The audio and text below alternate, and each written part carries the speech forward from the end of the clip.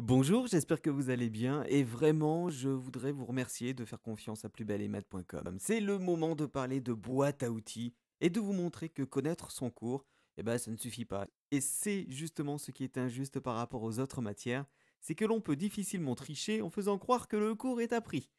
Le conseil qui va suivre est simple à donner. L'appliquer, c'est autre chose. Souvenez-vous, dans la précédente vidéo, nous avons dit qu'il était indispensable de souligner les termes importants. Et n'oubliez pas qu'un exercice, ça ne sort pas de nulle part. Généralement, le professeur a réfléchi et vous a donné assez d'éléments pour résoudre le problème. Donc, si jamais vous dites il me manque quelque chose, c'est que vous avez oublié de noter quelque chose sur votre brouillon. Nous n'allons pas faire d'exercice mathématique aujourd'hui, je vais juste vous donner un mot que vous allez noter, et comme je vous ai dit que le triangle était la figure géométrique la plus importante, ah bah justement, ça sera le mot triangle. Et alors attention, en plus, il va être rectangle. Nous allons donc prendre un triangle ABC, rectangle en B, et on va dire que c'est un triangle isocèle et rectangle en B. À partir de cette simple phrase, triangle isocèle, rectangle en B, je vous demande maintenant d'écrire sur un brouillon tout ce que vous connaissez de ce triangle ABC.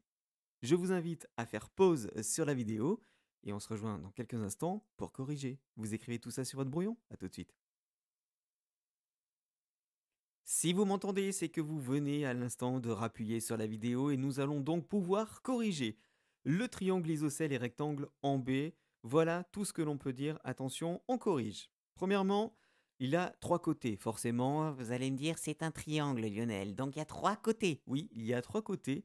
Mais n'oubliez pas qu'à côté de triangle, vous avez isocèle. Ça veut dire, s'il est isocèle, il y a deux côtés de même longueur. Ça, vous allez me dire, oui, ça, on le sait. Mais ce qu'on oublie souvent, et je peux vous dire que moi, sur mes copies, je l'oubliais constamment, c'est que s'il y a deux côtés de même longueur, il y a également deux angles égaux.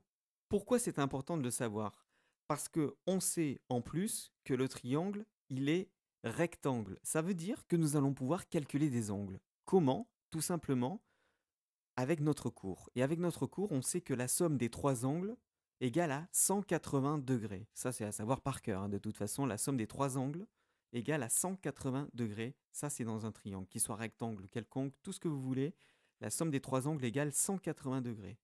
En revanche, on sait qu'il est rectangle en B. Conclusion, nous avons un angle de 90 degrés. Alors forcément, ce qu'on peut en déduire, c'est que la somme des deux angles égaux, sera égal à 90 degrés également. Puisque 9 et 9, 18, ça fait 180 degrés. Le compte est bon, comme on dirait au chiffre et les lettres. Mais ce n'est pas fini. Le triangle isocèle rectangle en B va nous permettre d'utiliser encore quelque chose qui sort tout droit de notre cours, le théorème de Pythagore. Et le théorème de Pythagore va nous servir à quoi? Tout simplement, on pourra calculer les longueurs, soit AB, soit BC, soit AC, suivant ce que nous avons dans l'énoncé. Ce conseil numéro 4, écrire sur un brouillon tout ce que l'on connaît et qui peut nous servir, je vous garantis que ça va vous permettre de supprimer 80% de vos erreurs. Pourquoi? Parce que euh, vous n'allez pas rester sec devant votre, feuille à vous dire il me manque quelque chose, je ne sais pas quoi utiliser. Ce que vous faites lorsque vous écrivez sur un brouillon, vous êtes en train de vous constituer votre boîte à outils. Parce que les mathématiques, en fait, c'est résoudre des problèmes. Et dans la vie de tous les jours, on résout des problèmes avec des outils. Et ces outils, on apprend à s'en servir. Pour s'en servir, il faut manipuler, manipuler, manipuler.